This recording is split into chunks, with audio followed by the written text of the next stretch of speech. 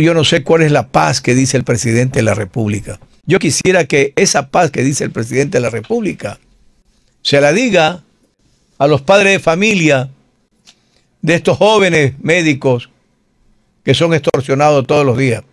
Lo que parece que el presidente de la República no le conversa, que los futbolistas están siendo extorsionados. Están sucediendo con los, eh, con los deportistas de Melé, están sucediendo con los deportistas de Barcelona, están sucediendo con los médicos, con los que están recién haciendo la rural.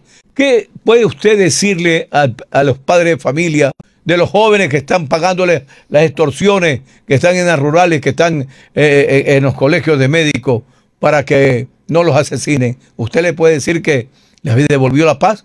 A los niños y mujeres que están asesinando, ¿usted le puede decir a los padres que usted le dio seis meses de paz? A las mujeres que están ah, secuestrando y violando, ¿usted le puede decir que le ha dado paz? a la gente que está dejando sus hogares, sus casas, sus negocios, ¿usted le puede decir que le ha dado seis meses de paz?